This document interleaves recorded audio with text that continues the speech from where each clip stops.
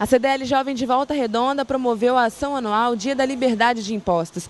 1.200 litros de gasolina foram vendidos com isenção de impostos. A partir de 8 horas da noite já tinha carro na fila. O objetivo é a conscientização para a população brasileira.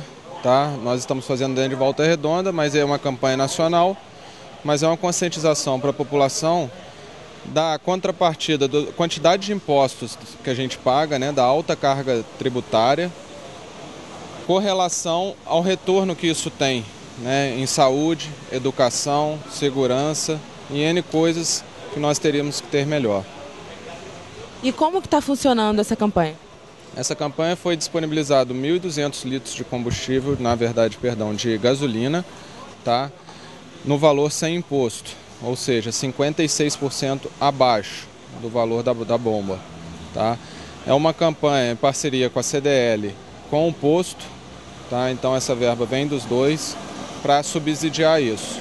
Foi um jeito que a gente encontrou para explicar à população que a maior parte dos impostos a gente paga nos produtos e não no IPTU, no IPVA. Então é, essa ação veio a mostrar que a gente é o oitavo país em, que trabalha mais dias do ano para pagar os impostos e em retorno nós somos centésimo, estamos atrás de muita gente. A gente nós trabalhamos menos, mais dias do que a Alemanha, do que países que têm uma infraestrutura muito grande. Então, foi um jeito que a gente encontrou de, de impactar a população e passar essa mensagem de para começar a discutir, a gente tem que entender como funciona, o quanto que cada um já contribui para poder cobrar. E isso a gente está passando com essa ação a divulgação da ação teve interesse certo, os usuários.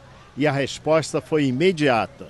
Ou melhor, com bastante antecedência, pois nos tempos atuais toda poupança é lucro. E mesmo debaixo de chuva, o povo não desanimou. Marcelo, que horas você chegou aqui ontem? Por volta de 10 horas da noite. Eu cheguei aqui e já tinha uns 5 carros na pista. E hoje você chegou que horas? 5 e meia da manhã. Já tinha mais ou menos uns 100 carros. E aí você que organizou a fila?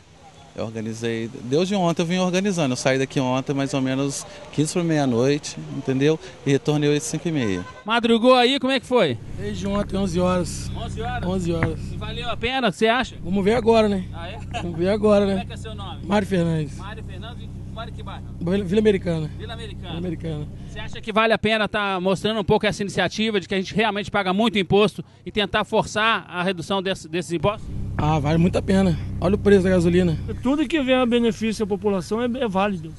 Com certeza. Qual a importância desse dia? Não é o que eu estou pagando, mas é o que eu deixo de receber. Porque é justo eu pagar imposto, mas eu preciso ter um retorno disso.